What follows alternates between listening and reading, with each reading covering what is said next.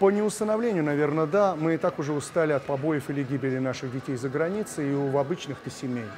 Э, Я уже не говорю о других семьях, э, которые вызывают ну, некий такой э, социальный э, вопрос или взгляд. Но, тем не менее, общество не должно погрязать в этом полностью. Уходить в это, растворяться в этом, ориентироваться только на это, это значит, появляются у молодежи ориентиры совершенно левые, абсолютно не соответствующие христианскому духу и морали.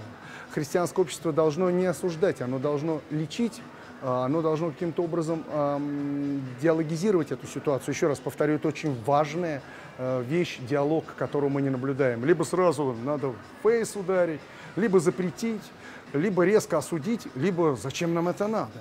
А, вот э, есть проблемы.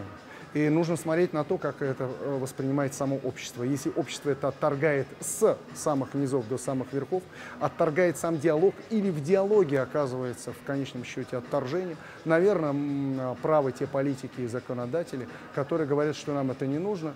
И нужно не, устра- не устражать, наверное, эти законы, а скорее всего э, правильно их писать. И тогда не тем людям, которые больны этим, а это, естественно, болезнь вот, э, будет легче э, с этой болезнью. И, наверное, не будет вот этого нашего осуждения как общества, которое, если что, то сразу открываются психиатрические клиники, если что, то сразу идут погромы, если что, пора входить в мировое сообщество. Но, как видите, мировое сообщество это осуждает, и очень сложно там с этим. Э, Я считаю, что еще пока очень мало диалога на эту тему.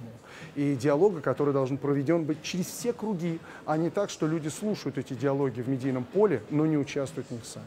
Вот я думаю, что при общем участии, наверное, будет понятно в скором времени, как наше общество должно, российское, отнестись к этому, и какие действительно законы должны быть приняты, а какие осуждены.